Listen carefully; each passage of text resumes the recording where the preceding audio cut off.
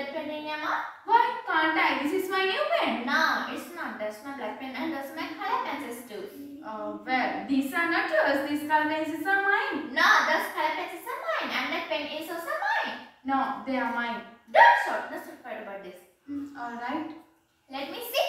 Is this says, does it have your name on it? Hmm. No, it doesn't. Then this is my black pen and those are my color pencils. Maybe your color pencils are in your bag. Let me see. Ah, yes, they are here. Sorry. Okay, darling.